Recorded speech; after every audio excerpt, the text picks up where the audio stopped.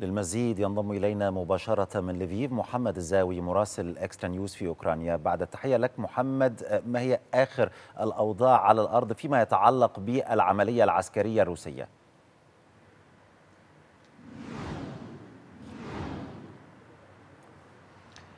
نعم شادي ربما ما يميز هذا اليوم واليوم الذي سبقه هو تكثيف الغارات الجوية على عدة محاور وفي مناطق متعددة من أوكرانيا. قد نبدأها من العاصمة كييف التي قبل نحو ثلاث ساعات قد تعرضت لقصف جوي روسي استهدف أحد المخازن. هناك حديث عن مقتل ما لا يقل عن شخصين وإصابة آخرين. كان هناك أيضا غارة جوية استهدفت حي شفيتونسكي بالعاصمة الأوكرانية كييف. هناك حديث عن مقتل شخص واحد. القصف الروسي ربما ازداد في الفترة الليلية يعني مع بداية الساعة الثالثة إلى الرابعة صباحا وخلال الفترة الصباحية بشكل كبير وفق ما تؤكد التقارير الرسمية الأوكرانية. أهم المناطق التي تواجه قصفا روسيا هي منطقة خاركيف. حيث أعلنت السلطات الأوكرانية هناك عن مقتل 21 شخصا في أحد البلدات المجاورة التي تعرضت للقصف الروسي. المدينة أيضا ما زالت تتعرض لقصف بين طارة وأخرى. هناك تركيز على هذه المدينة بشكل أساسي لكن الحاكم المدينة يقول بأن خاركيف لا زالت تحت السيطرة الأوكرانية. القصف الروسي أيضا مس مدينة تشيرنيهيف وتحدثت السلطات المحلية وحاكم منطقة تشيرنيهيف عن مقتل نحو 53 شخصا خلال ال 24 ساعة الأخيرة نتيجة القصف الروسي. في هذه المدينة تدور معارك قوية بين الجيش الأوكراني والجيش الروسي طبعا في ضواحيها بهدف ربما دخولها. قوات أو هيئة الأركان العامة للقوات المسلحة الأوكرانية لا زالت تؤكد بأن تشيرنيهيف الواقعة في شمال البلاد ما زال تحت سيطرة القوات الأوكرانية. في ضواحي العاصمة الأوكرانية كييف.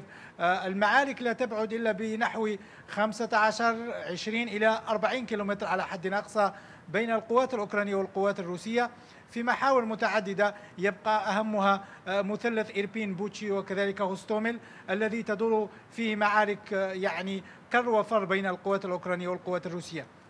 محمد ما زالت الجانب نعم الأوكراني محمد يقول فيما يخص أو يؤكد بأن يعني ألو...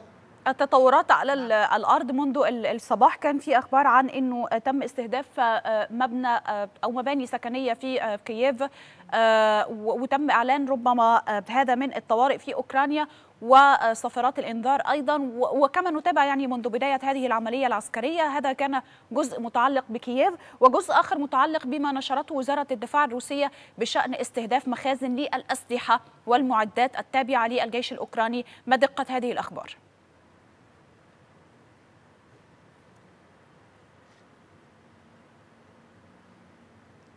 نعم إيمان في الحقيقة ما تولده اليوم وما يعني تكشف عنه التقارير القصف الذي استهدف اليوم. استهدف حي سكني لا توجد به يعني أي مراكز عسكرية وتعرض فيه مبنى سكني لقصف الروسي. أما فيما يخص القصف الذي حدث في حدود الساعة الرابعة بالتوقيت المحلي فقد تعرض لأحد المخازن لكن لحد الساعة لم يكشف عن ماهية هذه المخازن. هل هي مخازن عسكرية أم مخازن للمؤون؟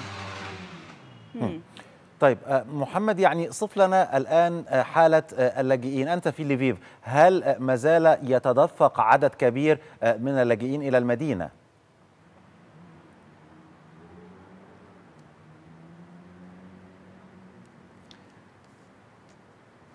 نعم شادي في الحقيقة تغيرت الأوضاع ليس بشكل كبير ولكن ربما إلى نحو أفضل مع تناقص يعني نسبة النازحين هنا في مدينة الفيف على خلاف طبعا الأيام الأولى لهذه الحرب. برغم ذلك تصلنا يعني يصل العديد من النازحين من مختلف المناطق الأوكرانية. يتم توجيههم أثناء وصولهم إلى محطات القطارات أو الحافلات أو حتى بسياراتهم الخاصة إلى مختلف المراكز التي تستقبل هؤلاء النازحين.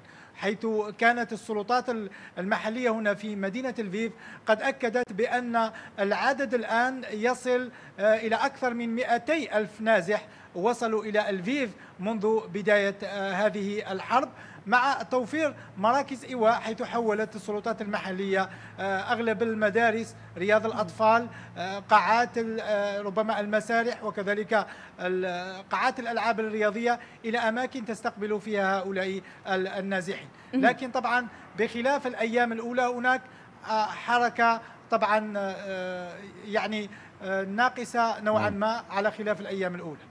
محمد فيما يخص القرار بالتأكيد تبعت القرار الذي وقعه بالأمس الرئيس الأمريكي جو بايدن بالمساعدات الجديدة التي ستقدم إلى أوكرانيا 800 مليون دولار نتحدث عن مساعدات جديدة وصفها بايدن بأنها ستحمي أو ستساعد أوكرانيا في حماية مجالها الجوي، كيف ستشكل هذه المساعدات فارقا بالنسبة للجانب الأوكراني؟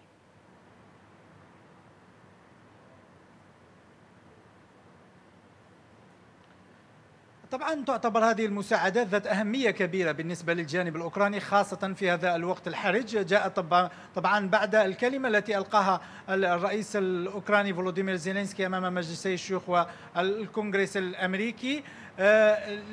طبعا كيف ستغير المعارك على الأرض؟ ربما الدعم الأمريكي خاصة بأنظمة يعني المضادة للطائرات والأنظمة الدفاعية المضادة للدروع والدبابات ستشكل أهمية كبيرة للجانب الأوكراني ربما الصامد في الكثير من المناطق. وكان كان المطلب الرئيسي بالنسبة للسلطات الأوكرانية هو دعمها بأسلحة دفاعية تواجه الطيران الروسي والصواريخ الروسية. ولذلك من المفترض أن تكون لحزمة المساعدات هذه والتي تعتبر تاريخية في الحقيقة نعم. ذا أهمية كبيرة بالنسبة للجانب الأوكراني في هذا الوقت الحرج.